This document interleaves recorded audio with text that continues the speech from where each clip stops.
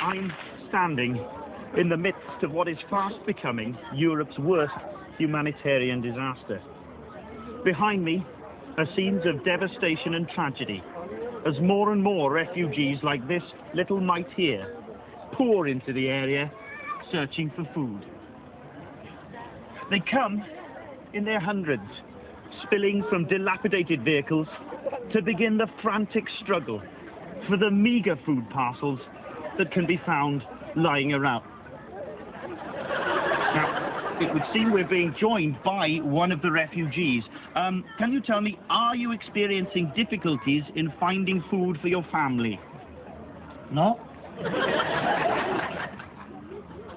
Right. Um, well, how would you describe the conditions within the refugee camp? Uh, what refugee camp?